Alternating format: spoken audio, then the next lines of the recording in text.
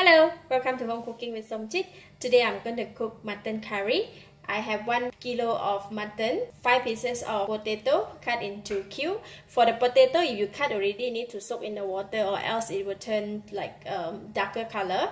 So I have two medium size of yellow onion cut into cube, a smaller cube, some curry leaf, three green chili, one red chili, one and a half tablespoon of chili powder, 1 tablespoon of coriander powder, 1 tablespoon of garam masala, 1 teaspoon of fennel seed powder, 1 teaspoon of cumin powder, half teaspoon of turmeric powder, um, 1 and a half tablespoon of ginger paste, 1 and a half tablespoon of garlic paste, 1 teaspoon of salt, 1 tablespoon of sugar. And these are the spices. I have um, cinnamon stick, star anise, clove, and cardamom and I will be using one box of coconut. Put about 3 tablespoons of cooking oil. So I'm putting in all the spice. And the curry leaf.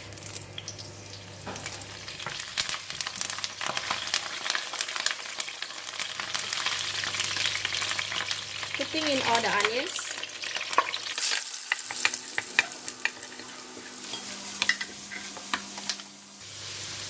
and uh, garlic and ginger paste.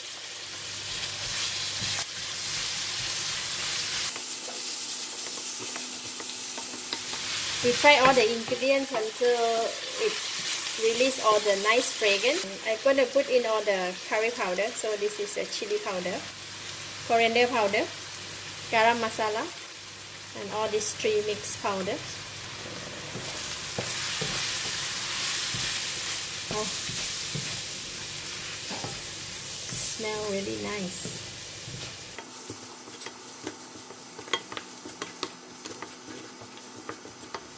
Then put in all the powder, the it's a bit dry, so you can add in about half a cup of water.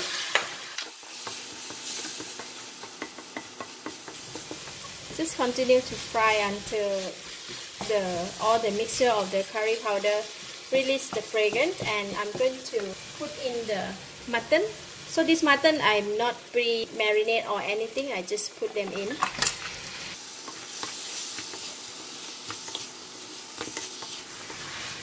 Just give it a nice stir and then I'm going to put in just a little bit more water. Just to wet the pan because the pan is quite dry. Alright. Mix it very nicely and then I'm going to reduce the heat to uh, low heat I brought the temperature down to low heat and I'm going to cover the pan and let it simmer inside here.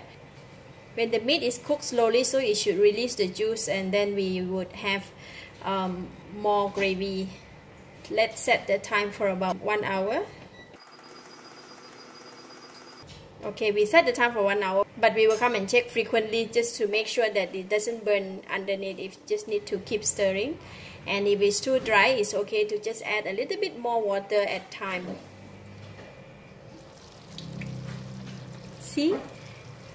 Now the, the meat has released some juice and we have a bit of gravy. So it's very nice. Smells so good.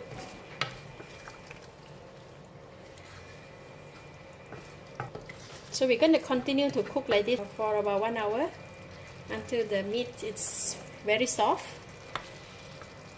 Because mutton of course is very tough so we need to take long time to cook.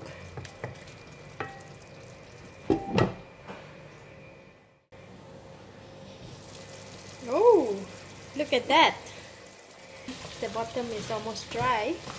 So when it is dry up this much I'm going to add in water just one cup of water and we still need to continue to boil until the uh, meat is soft.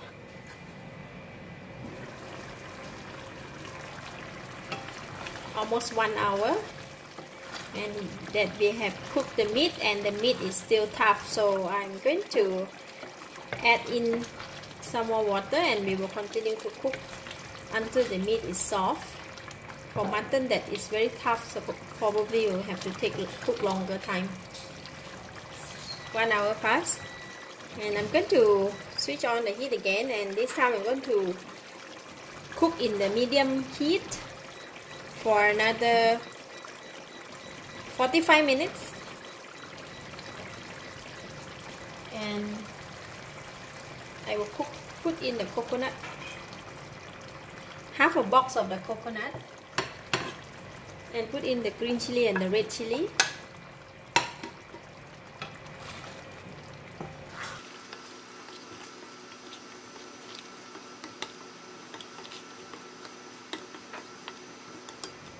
Put in all the salt and the sugar. Half a cup of water.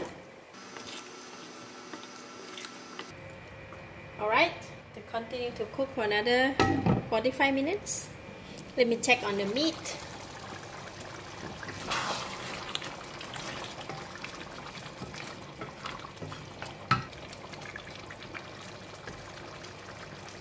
So it's a bit soft. So the meat is soft. And now I'm going to put in the potato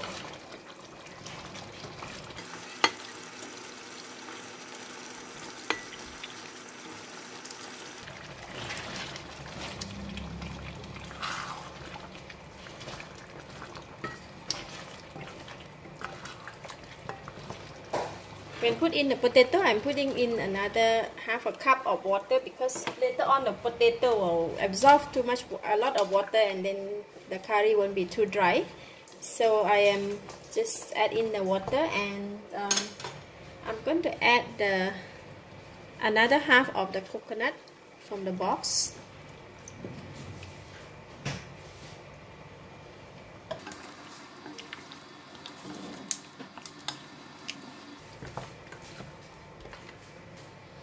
and I'm going to continue to boil for another 20 minutes until the potato is soft and then we are done.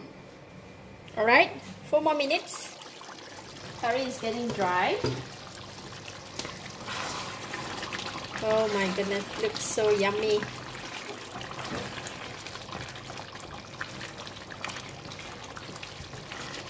Just want to check if the potato is soft.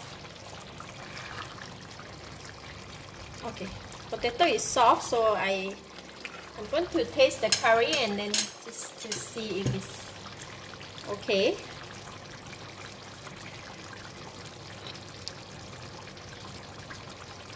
Mm. slightly lack of salt. I'm going to put in another half teaspoon of salt. And just give it a couple of stir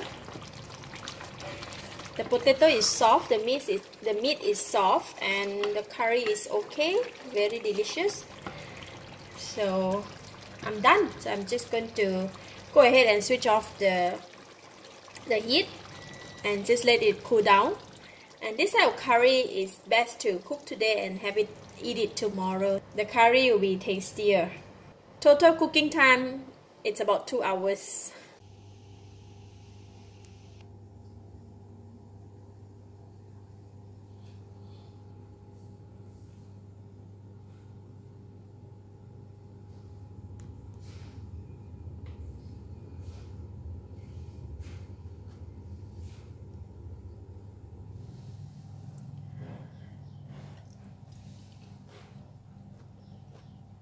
Mm.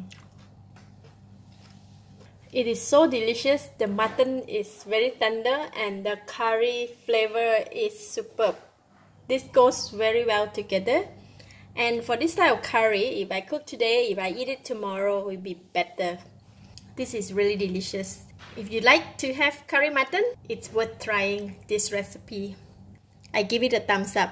Thank you for watching. If you like this video, please share with your friends and don't forget to subscribe for more of my cooking video like this. Thank you and bye-bye.